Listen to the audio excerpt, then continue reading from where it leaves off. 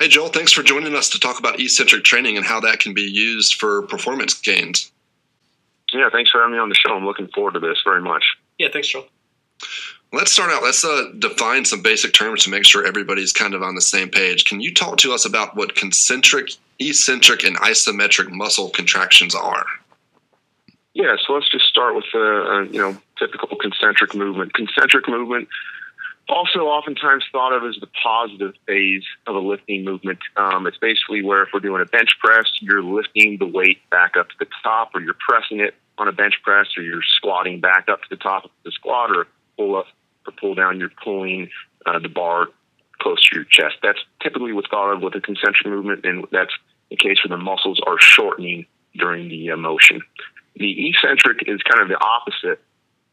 Eccentric motions are when the muscles are basically lengthening during the movement, and that's often thought of as the lowering phase or the negative of a movement. So, for again, we're going back to a bench press scenario. It's you know when uh, an individual would lower the barbell to their chest, that is the eccentric component. Or again, on a squat, where they would lower into the bottom position.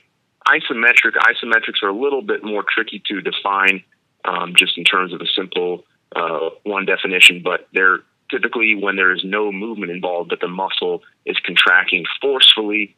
Um, there's overcoming isometrics, there's uh, yielding isometrics, and then, as in the case that we're going to talk about today, we have eccentric isometrics. But again, the muscle is producing force, but it's not moving. That is the definition of an isometric. Great. So, eccentric training, how is that typically used in the gym, and what are the benefits of typical eccentric training? Yeah, so I mean, eccentric training has been around now for well over a decade. There's been a lot of research on just typical eccentric training.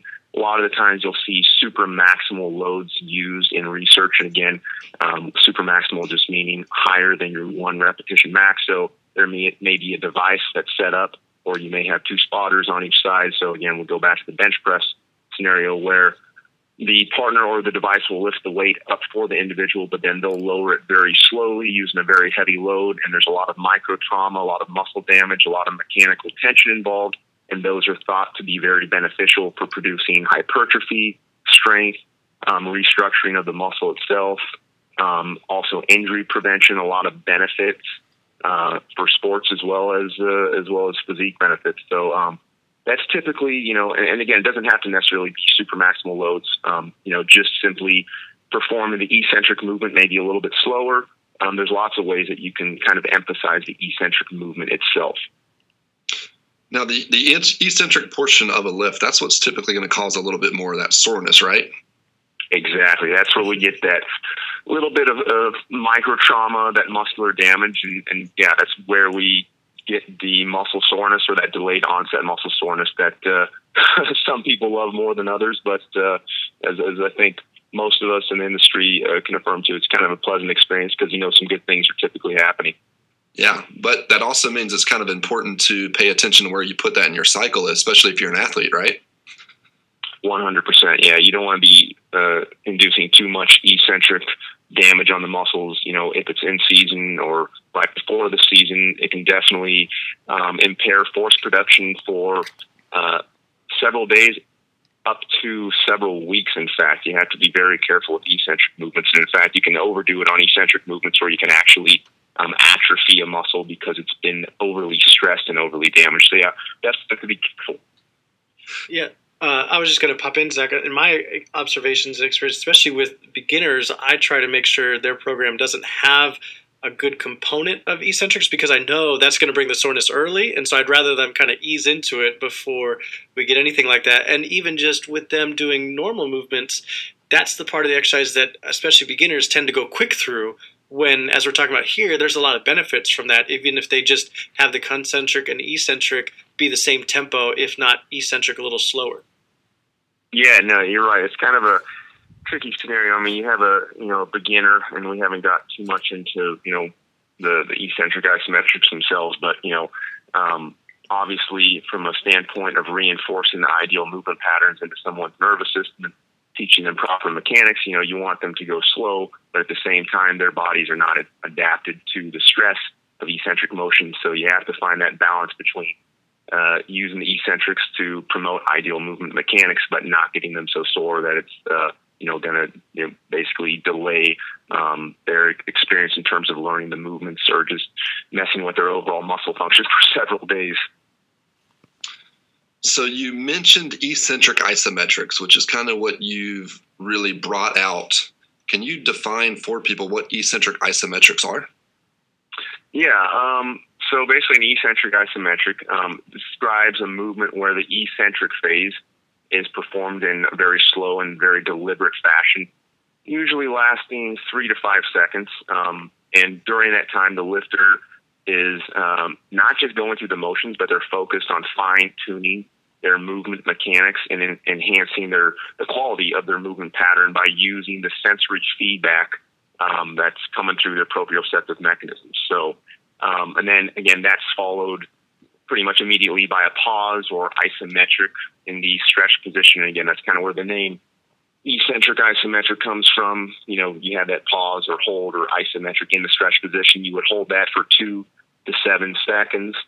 Um, and again, in that case, the lifter is not just pausing, again, for the sake of pausing, but they're trying to hold that position that should be ideal or proper if they did the eccentric portion right. They're trying to hold that as a means of reinforcing the ideal mechanics into their central nervous system and basically re-educating their nervous system with proper technique. And then um, finally, it's completed with just a very powerful and forceful concentric phase where they explosively and powerfully um, drive the weight back up. So that's pretty. That's pretty much. Uh, again, um, there's a lot more to it than that, um, and I'm sure we'll get into that um, in terms of why it's done like that. What's happening uh, intramuscularly, uh, not just on the surface. You know what we see externally. There's a lot more to it than that. Okay. So when they're doing that isometric contraction, so they've done a, they've done a three to five second eccentric, and then they're doing that two to seven second isometric contraction. Where are they at? They're not like rock bottom of a squat or just hanging from the pull up bar, right? Exactly. This is this is something that um, you know. I remember when I first started talking about eccentric isometrics, I'd have certain people, you know, writing to me and telling me, "Hey, you know, I was doing eccentric isometrics. I got to the very bottom of this position." And then they would even send me either pictures or videos you know, asking for my advice. And one thing that I noticed right off the bat is everyone thinks that, you know, the eccentric isometric um, is basically you just collapse into the bottom position. And that is totally not what an eccentric isometric is because that's actually a faulty movement um, and dysfunctional movement that we don't want to occur. The goal is to basically stay as tight as possible and to have enhanced muscle stiffness while you basically lower into the uh, most natural and strongest bottom position. So we're looking for optimal range of motion, not excessive range of motion. I guess that's what I'm getting at. So can I jump in here, guys? Because I'm I'm new to this too, and I'm just thinking. So like with a squat, we're we may not be even going down to parallel if we're putting these in the program. Then am I thinking through that right? Yeah, it's going to be somewhere around about a parallel position is what okay. we're looking for. Maybe a tiny bit above, maybe slightly below, depending on the individual and their you know various anthropometric differences, but it's certainly not going to be where you just go as deep as you can right. possibly go. Because one of the things here that there's, you know, if we think about, um, I guess this is maybe a little bit early to get into it, but you know, it sounds as good a time as ever.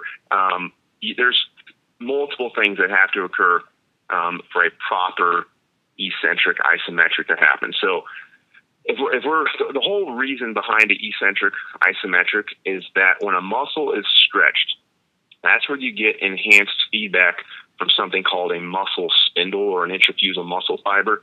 And muscle spindles are these little mechanisms that are embedded into muscles themselves, and they provide lots of sensory feedback about our body positioning, about our movement mechanics. Um, it happens uh, very deep within the central nervous system. Um, and we can use all of that information, all that sensory information to make adjustments and to fine tune our body positioning. So that's why we're going slow. That's why we're emphasizing the eccentric motion because during the eccentric, that's when the muscle is stretched. And when a muscle is stretched, that's when we get muscle spindle recruitment. When we get muscle spindle recruitment, that's how we can fine tune our movement where we don't even have to listen to kind of what a coach is saying. We can listen to what our body's telling us and we can make the necessary adjustments. But there's multiple things that have to occur to activate a muscle spindle properly and to, to have a proper eccentric isometric. Um, number one, you have to have proper spinal alignment. So if we're talking about a squat, if you go down so deep that you know you you know I guess everyone's kind of heard of the term butt wink, or basically the spine collapses, it goes into flexion. Um, you are not getting optimal recruitment of muscle spindles, and you're basically defeating the purpose because you're short circuiting neural signals that are coming from the spine. Okay, so that's one of the most important things. The other thing is obviously the muscles have to be stretched. We're in the eccentric position. Um, as the muscles stretch, though, there's several other factors that have to occur. There has to be a very high level of um, co-contraction of agonist and antagonist muscles, or co-contraction or co-activation of reciprocal muscle groups. And what I mean by that is, again, maybe go back to a bench press example. It's not just a matter of having the weight collapse and come down. It's a matter of actually using your back muscles, which are your antagonist in this case, to pull you into proper position. This creates maximal um, uh, stiffness in the muscle, and stiffness is a very, very important aspect of eccentric isometrics because stiffness is critical for muscle spindle activation. So you can't have good uh, activation of those intrafusal muscle fibers or muscle spindles without a high level of stiffness, if that makes sense. So, yeah, I kind of threw out a lot of information there. We can kind of go back to some of those things and um, explore them further, but uh, that's, you know, some of those are very critical. So, one of the reasons why I use this a lot, for me, it's cleaned up a lot of mobility mistakes in patients and clients that I work with. How do you right. implement that in people who are struggling mobility wise? Right. So this is a this is an interesting question. Um, so it's basically eccentric isometrics are excellent um, for mobility for for a number of reasons, but it's not just a case where hey somebody um, you know they don't have good mobility. What's going on here? Um, you know, we got to stretch them out. So what can happen with someone in terms of not having optimal mobility? There's two kind of uh, areas we can look at. One is they have excessive mobility. Okay, they have hypermobility. This is actually something I see just as much as not having enough mobility. So if we address it from that standpoint, the eccentric isometrics help to increase muscle stiffness and joint stability. So instead of the person just collapsing into the bottom of a position, which is very common if somebody doesn't have good motor control or muscle control, they'll just collapse. So eccentric isometrics greatly help with that. The other thing, though, you know, we commonly think of you know lack of mobility is in terms of being the biggest mobility issue. Well, oftentimes a person uh, may be lacking mobility, not simply because the muscle is just stiff and they don't have good flexibility, but um, their bodies may not allow them to go through a certain range of motion that they can't stabilize properly because it's going to produce too much uh, pain and inflammation and tension on the connective tissue and the tendons and ligaments. So their bodies will basically inhibit that movement. But again, eccentric isometrics teach proper positioning, proper mechanics. So instead of having that inhibition from the nervous system, their bodies are free to move through an optimal range of motion. So yeah, I mean, using them for mobility is, is huge. And I think that's definitely one of the biggest areas. So yeah, I think you, you hit it on the head. Yeah, I love using it on both sides of the spectrum as well. It really helps people kind of own those difficult positions to get into. Um, exactly. and, and, it can be super, super powerful in getting people just moving better, understanding things a lot better. I've heard you also yeah. say you like to do these without vision. Can you go into that a little With, bit? Ah, yes, without vision. the uh, the some of my athletes like to say they're, training like a ninja, but uh, yeah, no, it's uh, it's it's actually kind of a similar concept. Um, a lot of martial artists um, they kind of inherently do without even knowing why exactly. But um, so basically, what's going on with again with an eccentric isometric? It's all about tuning into the proprioceptive feedback from uh, the various mechanisms of our body and from our muscles, like the muscle spindles, like I mentioned. When there's uh, vision present, or if the individual is too distracted by the visual uh, feedback that's coming through, they can oftentimes neglect and fail to adhere to the proprioceptive sensory feedback that's coming to the muscle. So the vision can kind of act as a distraction. What I typically tell my athletes and clients, I want them to feel their way through the movement, not watch their way through the movement. The, the uh, power of feel is a lot more powerful than uh, sight, and you can tune into a lot of what's going on if you simply just eliminate the visual component, have them close their eyes, oftentimes it will make it a little bit more difficult at first, but it allows the individual to really tune in to all that sensory feedback, the somatosensory feedback that's coming through the muscle spindles, and then they can fine tune their position. A lot of the times we'll have an athlete, you know, they'll do a squat and say, for example, their knees are collapsing or they'll have a little bit of ankle pronation. They may not feel it and I may, you know, call it to their attention. I'll say, okay, I want you to close your eyes, go really slow on the way down this. I want you to feel what's going on with your knees and your ankles. I won't even tell them specifically what to feel for. And then I'll have them do two or three reps. We'll rack the weight. I'll say, okay, what'd you feel? And they told me, and as a result, they were actually able to clean up the movement themselves without me having to give them much coaching because they could feel what was going on since they basically enhanced proprioceptive feedback from eliminating the visual distraction. That's really cool, and, and, and like you said, Joel, it makes sense if if they shut off the, the, visual system there, which gives so much feedback and sometimes too much, then they can exactly. hopefully get inside themselves more and really focus on making those connections that you're trying to get anyway with doing a technique like this. Yeah, that's that's exactly, and I think that what you just said was a very um, simple but very correct uh, way of stating it. Exactly.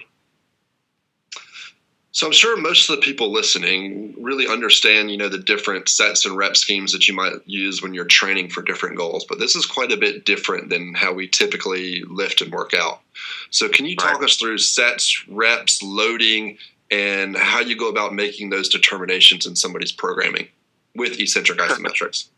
Yeah, well, the gamut's pretty uh, pretty large on this. So um, let's start off with. Um, let's start off with the number of repetitions that I would typically use per set, because I think this is going to kind of segue well to some of the other components of the programming. Um, so basically, I like to stay within the one to five rep range for eccentric isometrics. There's multiple reasons for that. First off, we have to understand when people say, you know, 10 to 15 reps, and then I say one to five reps, this is totally different. As you mentioned, the time under tension is exponentially larger. Okay, a set of three to four repetitions of, of proper eccentric isometrics may take longer than a standard set of 12 to 15 repetitions. So again, time under tension is kind of what we have to look for. And a typical eccentric isometric can take anywhere from, you know, five seconds to 10 seconds. So if we're doing more than five, there's going to be a lot of fatigue. And one of the things that you have to watch out for with eccentric isometrics, and this is, goes back to muscle spindle activation, we want to avoid too much fatigue, especially if we're trying to re-educate and reprogram our nervous system with appropriate or proper movement patterns. So basically, fatigue is the enemy of motor programming. If there's too much of it, our movement patterns are going to break down. They're going to degrade, and we're just reinforcing improper movement into our central nervous system, which is the last thing we want to do. And eccentric isometrics, you know, they're a great tool, but they really are um, a strong neuromuscular reeducator. And what I mean by that is they can be very strong for re-educating the nervous system in a proper way or an improper way. Because when you hold a position, you have all that muscle spindle activation. If you're not doing it properly, you can very easily reinforce a faulty movement pattern. So again, you don't want excessive fatigue. And, and again, this goes back to muscle spindles. Muscle spindle recruitment is actually blunted from excessive fatigue. And again, we want to feel all that sensory feedback that's coming through the muscle spindles so that we can use that to make the necessary body adjustments. So again, especially at the beginning and, and even uh, with advanced clients, I don't like to have excessive fatigue um, because we want to, you know, like I said, we want to fine tune the movement. So one to five repetitions is typically what I'm looking for. And then, you know, yeah, go ahead. Uh, set wise, then, Set wise, you know, this varies honestly, um, and it depends on multiple factors. It may be something where, hey, um, I have a new client and we have to work on, let's say, a squat pattern. Um, I may have them do anywhere from three sets of three to 10 sets of three until we get the movement proper and basically lock it into the ideal position. So I may see, hey, this, this squat pattern really needs work. We may start off with body weight you know, three set or, you know, a set of three and, and you know, tweak their position, work on their mechanics, allow them to fine tune their body positioning based on what the uh, sensory information is telling them. And then we may add a little bit of weight. And it just depends. It can be, you know, three sets to 10 sets, but typically I just kind of had to throw a number out, three to five sets, kind of your, the, the, the set um, range is kind of your typical set range. I don't think there's really anything uh, overly unique about that component. And we're definitely not using the super maximal loads that most people use when they're using eccentrics because obviously we're going down, holding it, and then coming up. So, where do you typically like to start at loading wise? Right. No, that's a great point. Um, so, I typically will go very light, and I'll start people with either body weight or empty bar movements. Um, but as we progress, um, I like to see that 50% mark hit pretty quickly. Um, and with some of my advanced athletes, with my more advanced clients, I like to use uh, a weight, especially for the working sets, of 70 to 90% of their one rep max. So, and again, that may seem like a pretty high number in terms of, you know, holding a, a 90% of your one rep max squat at the bottom position after doing a very slow eccentric motion. But if the person has very good motor control, is very um, in tune with their uh, sensory information from their body, and they really have good mechanics, that will actually be very feasible. Most people think of, oh man, there's no way I could, you know, hold the bottom position of a squat with 90% of my one rep max. Oftentimes, if you look at their squat pattern, there's a lot of deficiencies going on there. There's a lot of dysfunction. So the better your movement patterns are, the higher percentage of your one rep max you'll be able to use, and you'll be able to use it effectively. Hmm. That's that's really cool. I never thought about using this to, to clean up movements like that by staying still, almost right. Like you're you're going to get a better movement by having this eccentric and work through that. Right. Well, if you, if you again, if you think about it, um, the more muscle is stretched up until the point where you collapse. Again, you don't want to collapse and lose tightness, but the more muscle is stretched, okay, the more muscle spindle activation you have. Okay, so the very bottom of a squat, stay parallel position just for the sake of keeping simple right now. The muscle spindles are maximally activated at that point. So we have maximal feedback, maximal sensory information coming in. Our kinesthetic awareness at that point during the movement is through the roof. So again, we're basically trying to melt that for everything we can and get as much out of it. And if it's the proper position, okay, and we've done a good job of, of either coaching an athlete or teaching them how to use their own sensory information to achieve a proper position, then we want to reinforce that proper technique and movement mechanics into their central nervous system and holding it at the bottom where you have all that muscle spindle activation. That's what it's doing. So I've used these quite a bit, and uh, I, I, love them, but I don't think I've gone past maybe sixty percent. So I'm sitting over here, I'm cringing thinking about putting ninety percent on the barbell and trying to do that. That sounds horrible, man. I actually I did a yeah. video a while back. Um, and I forgot that I had to record this video for an article I was writing, and that the deadline was that night, and I ended up doing it at the end of my metabolic conditioning. That was horrible. Biggest mistake I've ever made training wise is trying to do this when I was already super fatigued.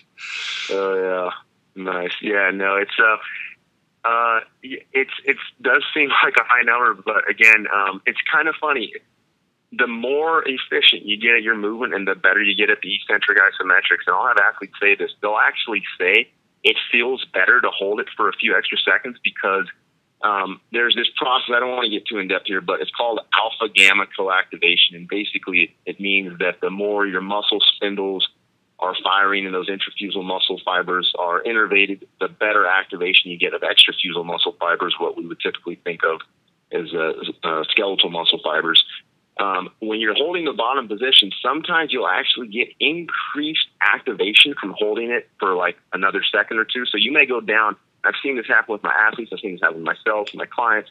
They'll go down and they may feel like, oh man, if I hold it another one to two seconds, I feel like my nervous system is actually ramping up more. It's not actually fatiguing, it's ramping up because I'm getting increased motor unit recruitment. Now, there's obviously a point where it will fatigue, but doing a you know two to three second pause with you know 90% of your one rep max if your mechanics are proper and you know how to um, use all that sensory information and wake up the muscles, then it actually doesn't feel bad. If anything, it actually feels pretty good.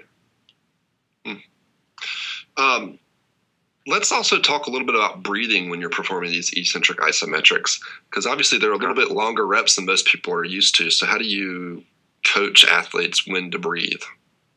Yeah, well, this is something I I get a little bit on a um, tangent on sometimes. Uh, if I get a new client or a new athlete and they've been told, hey, you know, breathe during your set, make sure you're breathing a lot, inhale, exhale, inhale, exhale. Well, I'm actually not a very big fan of that um, ideology. You're, you'll pretty much breathe when you need to, and uh, on eccentric isometrics, breathing too much can actually be the very thing that uh, basically degrades and, and, basically makes the movement pattern worse. Um, with an eccentric isometric, you want to take a, big breath before you start going down into the eccentric phase. And uh, you will pretty much not be taking another big breath or inhalation, I should say, until you come back up past the sticking point on the subsequent concentric phase. So, again, at the top of the squat, right before they go down, take a big breath. They're going to come down slowly. They're not going to be taking another big breath. If they have to get more oxygen, they will be sipping air through a straw, so to speak. It will be very small, little breaths.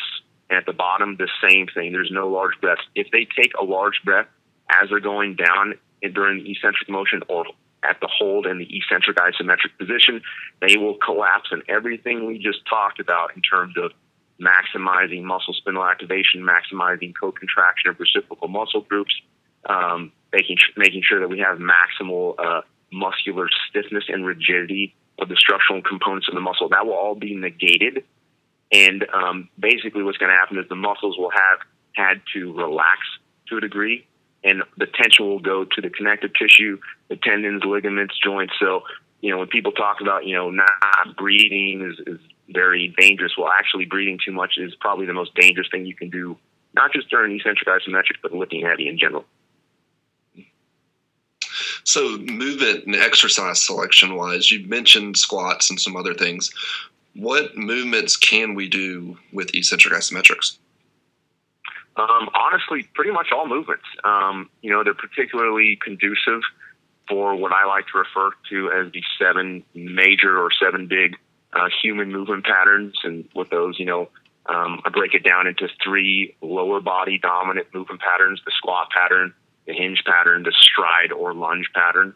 And then we got the upper body movements. We got horizontal uh, push and pull, and we have vertical push and pull. And basically, um, eccentric isometrics are extremely useful for that. I would say 90% of the time, that I have clients perform those movement patterns, they are using eccentric isometrics, again, whether they know it or not. Probably have a few clients and athletes, you know, they're going to be listening to this and be like, oh, is that what they're called? So, you know, they're just used to me saying, hey, we're going to, you know, do the pause. We're going to basically tune into what our body's telling us. And I usually mention the eccentric isometric thing, but sometimes I try to spare my clients from uh, the uh, overabundance of uh, scientific information. Um, but yeah, no, that, uh, I think did I answer your question on that? Or oh yeah, so the seven basic movement patterns, but um, it can be used for honestly uh, everything. Arms can be used for tricep exercises. Really good for tricep exercises because um, pressing muscles typically have more muscle spindles in them than pulling muscles. Not to say that you can't use them for back exercises um, or bicep exercises because I I do, and again, using them for pull ups and for rows is one of the big things that I use them for.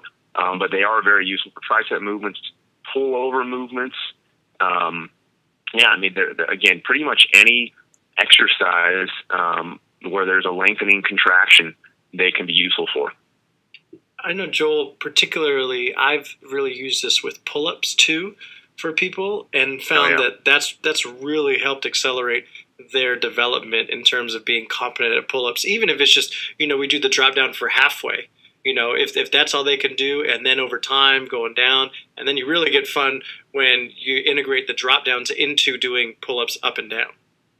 Exactly. No, I, uh, eccentric isometrics, when uh, combined in conjunction with the pull ups, they're, in my opinion, not just one of the best hypertrophy exercises for the back and strength exercises, but one of the best postural mm. correction exercises, as well as for improving, you know, scapulohumeral rhythm um, positioning of the glenohumeral joint, making sure the shoulder mechanics are optimal. So yeah, they're they're awesome for sure. Do you have any recommendations uh, specifically for those on on sets or reps or or any other tips on that one?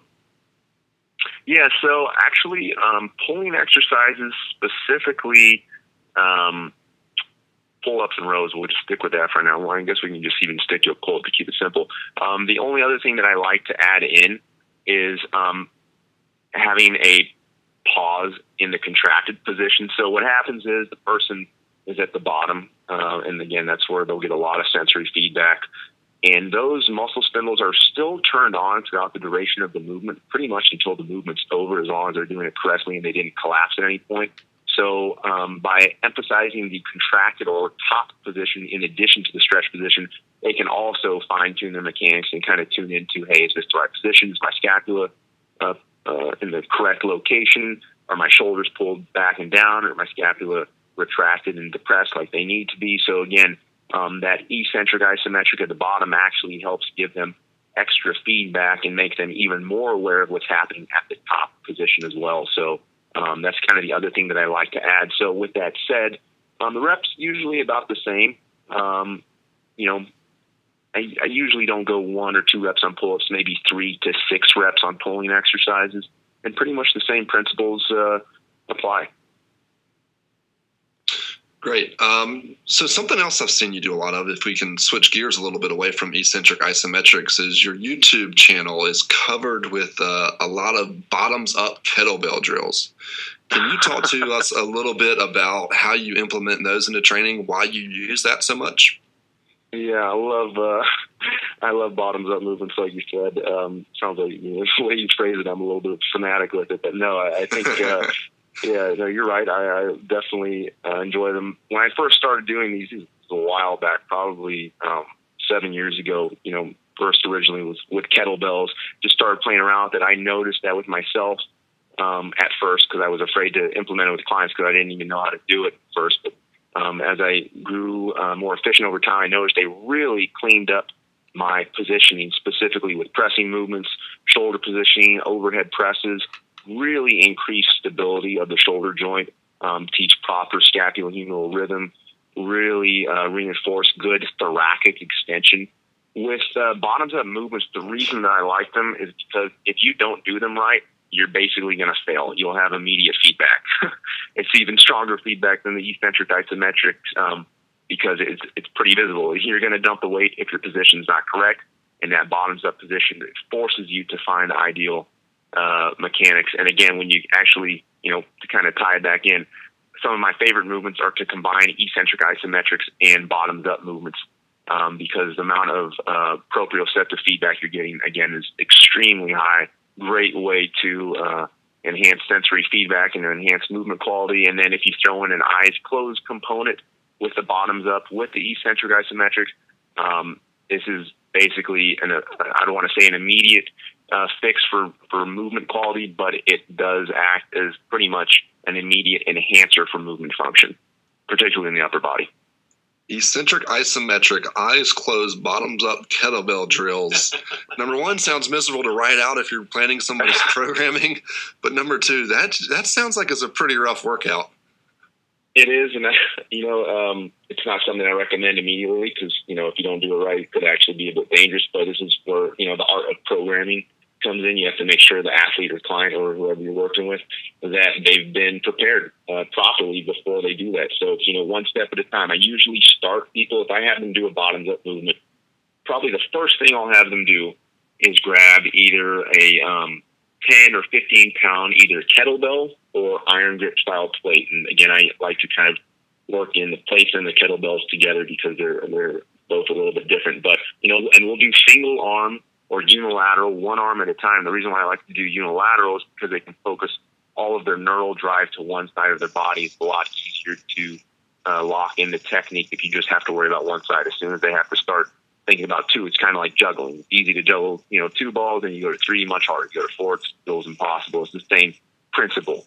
Um, so I like to start them with one, and then you know we may add two. Then we may start to get into kneeling kettlebell exercises with eccentric isometrics, and then over time increasing the weight and throwing in the eyes closed. And then you know I like to use them for pressing movements as well, um, um, uh, horizontal pressing movements like chest presses, uh, whether it's on a flat angle, floor press, um, incline press. Really, really effective for um, helping bench press technique. It transfers extremely well. I Use them a lot for my um, NFL combine athletes. I saw an individual, or an athlete had problems collapsing at the bottom of the bench press, but they didn't know how to be stable. They didn't know how to um, properly position their scapula and tuck their elbows. Pretty much, I would immediately throw them on a bottoms up kettlebell chest press, and um, within minutes, you'd see huge improvement. Great. Can you uh, break out a couple other exercises? I'm sure people are really interested to hear how else you're you're using the bottoms up stuff because I know you use it for more than just you use it for some pretty advanced exercises too. Yeah, so I like to use them actually for um, lunging, overhead lunging exercises. Um, one of the reasons why I like to do that is because um, you'll often see people when they go into an overhead lunge that their mechanics start to break down, their hips start to shoot forward, they go too much into extension, um, and they also allow the shoulders to kind of uh, move forward. And with the bottoms up movement, if your mechanics break down, if your hips aren't in the right position, if you don't have good T spine extension, um, you're pretty much going to immediately dump the weight. And it also teaches great balance. It pretty much forces you into a very um, proper lunge position. Um, I also like to use it on a bottoms up uh, squat, kind of like a front squat. You could do it single arm or double arm, but it, uh, I like to use this a lot for warming up the squat pattern.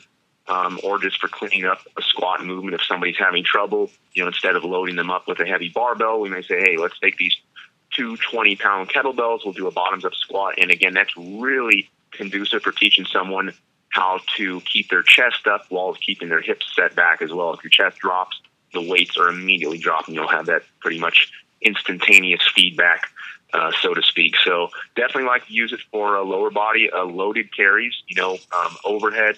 Um, you can hold them at shoulder level, but I like to do the overhead because that longer lever arm makes them a little bit more difficult. Again, double arm, um, if you use them with plates, again, I mentioned plates earlier, but plates are even a little bit more awkward than kettlebells just due to the, the length. If you start getting into 45 pound uh, plates, doing any type of bottoms up movement is extremely difficult. But yeah, loaded carries. Um, yeah, I mean, there's, there's so many variations you can do, but, uh, um, yeah, I try to use them, you know, as innovatively and, um, as smartly as possible without overdoing it. You know, I'm not just going to throw a client into an entire bottoms up workout. It'll be kind of thrown in periodically to clean up a movement pattern or, or to produce a desired effect. Okay. One other unique training tool that I know you employ as well is, is hanging band technique, which I'm sure has a lot of the same uh, feedback and, and neuromuscular components that eccentric isometrics and bottom up stuff has. But could you first explain what hanging band technique work is and why you use it, maybe why you use that uh, for some exercises instead of doing bottoms up drills? Yeah. Um, so I think anyone who's listening to this uh, is probably kind of seeing a common theme here. Um, I like to take advantage of muscle spindle activation, like you said, all that sensory feedback. Uh, can, can your uh, internet can your internet nickname be like the muscle spindle guy? You know, we got like Bret Contreras as the glute guy and John yeah. Rusin's the strength doc. You're the muscle spindle. yeah, I guess that's what my uh, my uh, professor when I was doing my PhD used to always tell me that. It was uh, I, honestly, and the, you know, I'm going to answer your question with the hanging band thing, but honestly, muscle spindles that's the key to enhancing movement quality. It really is. But um, back to uh, the hanging band technique. You, with the hanging band technique, it's pretty simple. Um, you need some type of either iron grip style plate or kettlebell. You take bands, doesn't really matter what type of bands they are. Um, you attach the uh, plate to the bands, then you loop the bands onto the end of a barbell, and it produces a lot of perturbations and oscillations to the barbell, very unpredictable movements and very uh, chaotic movement, so to speak. And again, that's one type of way to increase um, feedback from the muscle spindles to force your body to basically tighten up to clean up your movement patterns, to really lock in the appropriate position to make sure you don't collapse. If you do collapse, if you get loose for even a second, you'll see the weight in the bands or the, the hanging weight really start to oscillate almost uncontrollably. You really have to do a, a, a exceptional job of using proper mechanics. So again, really love the hanging band technique can be used for. Um, I just used it actually about two hours ago on some of my football guys um, for squats. Um, you know, I was noticing just a few things with their technique. We'd been going heavy a few times in a row, um, and I wanted to kind of clean things up just a little bit. Nothing, nothing extreme. Um, and with the hanging band technique, you don't really have to go that heavy. You know, somebody who has a 500 pound squat, they can get a lot of benefit out of doing 225 with two plates hanging from the sides. Um, and the burn is actually pretty significant too. But uh, yeah, my athletes love it and hate it at the same time. But a very very effective uh, training tool, and it's, it's similar to the bamboo bar or the uh, you know the earthquake bar or the um, you know tsunami bar. They got all these different uh, oscillating kinetic energy bars out there, but the, the theory is the same. Basically, just trying to produce a lot of unpredictable oscillations in the barbell to enhance um, proprioceptive feedback and kinesthetic awareness. Joel, do you think eh, there's ever a point where trainers, coaches, if they get into it, even therapists, you know, can take some of these things too far? Like, you know, I, I can kind of imagine some things with, with whether way earlier with the, the eccentric isometrics or, or what we're just talking about there, oscillating bars and stuff like that. Is there a line in your mind where coaches kind of say, okay, you know, like that's just getting kind of silly now? Yeah, you know, I would say um, I would say 80% of what I do with my clients is pretty simple. Mm. You know, and, and, again, I do use eccentric isometrics a lot, but they may just be with a very simple movement, a simple barbell movement, a simple dumbbell movement, nothing fancy. Um, and, you know, uh, there's no reason to get uh, crazy about it, but 20% of the exercises, I would say, maybe even less, I'll throw in unique variations. Um, and sometimes, uh, you know, my reasoning for that can be as simple as, hey, I want to give this individual a cool new exercise, um, give them kind of a psychological break, you know, force them to maybe focus a little bit more. But again, it's a movement we've not done much, so they don't have to worry about, oh, I got to lift a, you know, very heavy weight. Um, it's just kind of a nice change, and a lot of people like the variety. So you have to be careful with that. But also, there's strategic ways to do it. Like I said, you know, if I'm seeing a specific um, type of dysfunction or a simple, you know, maybe a collapse or the person's not staying tight like they should at the bottom of the movement, hey, this is a great time to throw in maybe a bottoms up press or maybe a hanging band technique uh, movement to, to really kind of clean things up. So they're used strategically. You definitely don't want to overdo it. In fact, um, I want my athletes and clients to be able to perform proper technique with simple movements as well as difficult ones. So, and I know that sounds kind of like backwards, but sometimes when you do a very complex uh, or difficult exercise like a bottoms up movement or hanging band, um, it's so difficult and so intense where it kind of forces the individual to have proper mechanics. With a simple maybe dumbbell or barbell exercise you don't have to be that strict about it but i want my athletes to be just as strict as if it was a hanging band or a bottoms up movement. So i want them to have that same level of mental engagement that same level of concentration that same type of neuromuscular recruitment that they would have for any other crazy variation that i give them but be able to apply it to a more stable, simple variation, if that makes sense. No, that doesn't. I like the 80 20 rule that you threw out there because I don't want people to come away from this presentation confused and think, oh, I got to, you know, all my training needs to look like this, right? No, like it's a tool and you're using it in a specific way and like you said, you know, you're not going that exotic most of the time. There, there are little parts where you do it, and it's almost like this is a little kicker where you could turn up the intensity or focus on a certain movement, or you know, if you're preparing for something or, or rehabbing. And it's not that this is how you should train all the time. All the time, you know, it's one tool in your tool belt, so don't make it the end all be all. That's exactly right. And I think you know, it's it's easy to fall into some of those uh, habits where, oh man, this is a really cool, unique, you know training instrument or tool and then to get carried away. But like you said, you got to still keep it simple because in reality, proper movement is simple. It just has to be done correctly. Yeah, and I really like circling around back to the start where that's what one of the main things you were talking about using the the isometrics and the eccentric isometrics for is to make better movement. You know, that's the key first. If we can get everything moving better, then that opens up all the doors, you know, for both the therapy side and the performance side. And so if we can have little tricks to, you know, help us get to that a little bit quicker, then all for the better. Exactly. And, again, that's why originally, um, you know, wanted to research and then kind of uh, started to uh, create this specific eccentric isometric protocol. It wasn't for the sake of it. I arbitrarily just chose some cool, unique training, you know, term or, or uh, protocol. It was, hey, how do I create better movement techniques and better movement habits in my clients and in my athletes? Um, and what's the most efficient way to do that? And that's kind of what I what I do with my research and with my dissertation doctoral degree. And that's you know after having done that and seeing what the effectiveness was, it's just about applying that in the practical setting now. So yeah, and I think you're right. Quality of movement. That's that's uh, that's what it's all about. Awesome. Joel, thanks so much for coming by and dropping all your knowledge on this subject. We really appreciate it. Where can people connect with you and learn more about you?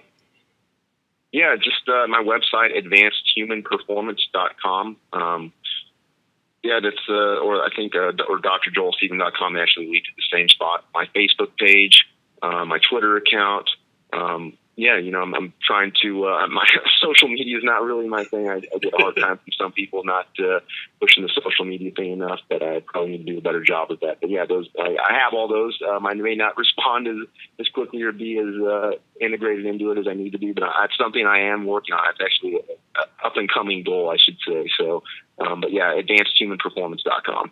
Well, that's okay. That's why you know Zach and I wanted to put on events like the Global Performance Summit because we know that there are practitioners out there like yourself who aren't the loudest in the social media internet world, but are still doing really good stuff. And so that's our hope through this is that we're able to put spotlights on people like yourself who really have good quality stuff to bring, and let's bring that knowledge out there. Even though you know your skill set maybe isn't the best at social media or marketing that. Uh, yeah, no, uh, and I really appreciate that. But uh, yeah, no, thank you for thanks for having me on the show. This is great. I really enjoyed it. Awesome, Joel. I enjoyed it as well. We'll have all the links to that, uh, and uh, just thanks again, Joel. Really appreciate it. No problem. Take care.